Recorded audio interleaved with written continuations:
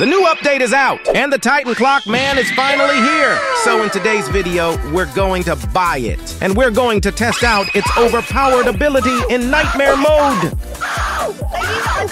Also, they finally got the postal office working, so now we can easily do mythical unit giveaways. So to join the giveaway, all you have to do is subscribe and comment your username. Now let's buy the Titan Clock Man. Here we go. We're here one minute before the update. Five more seconds. They said that there will be a new mystery unit. I'm excited to see what it is. The update is here.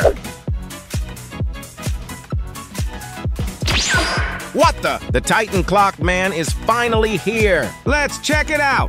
Is it a godly unit? Huh? Wait a minute. It's an exclusive unit. No! I had my coins ready. It costs 699 Robux. Only two of them exist.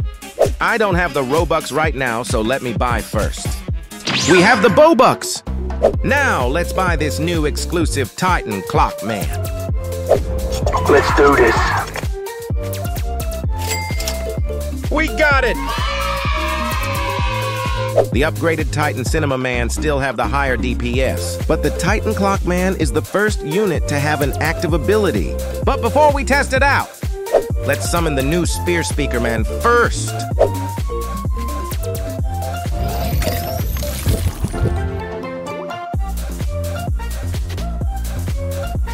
We got three. Who wants one? Now let's test out the new Titan Clockman in Nightmare mode.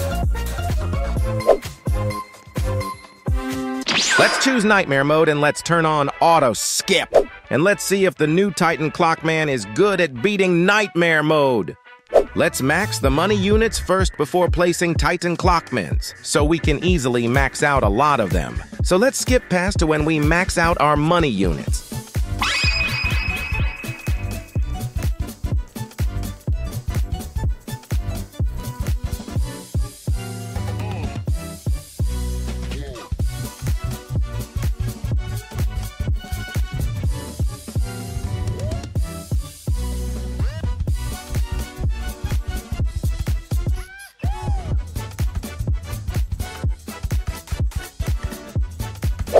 Now we can start placing our Titan Clockmans. The Titan Clockman is cheaper to max out compared to the upgraded Titan Cinema Man. When you use the upgraded Titan Cinema Man, you can only place three of them that's maxed out. But with the Titan Clockman, you can place six of them that's maxed out. So here's what the Titan Clockman looks like when it's maxed out. It does splash damage attacks that slows. It's like a stronger Chef TV man. Now let's see how fast the Titan Clockman can beat Nightmare Mode. Let's see if he can beat the clock.